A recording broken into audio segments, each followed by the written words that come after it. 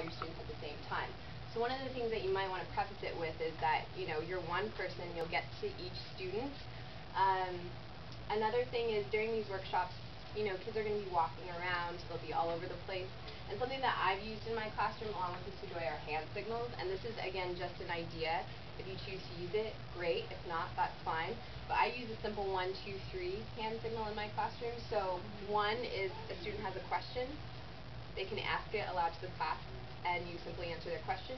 Two is that they need to get out of their seat. So if for some reason there's any part of the session where they need to stay stationary, then give them a two and then they can go get their supplies. Three is that they have a specific question for you, which means you actually need to walk to wherever they are and answer their question. So you'll find that it saves time because you know what the students need. If they just need to grab an item, two, yeah, sure, go ahead. If they need you, you know you need to walk directly to them, or a three. Um, a one, you know, okay, you need to share something out with the class, go ahead.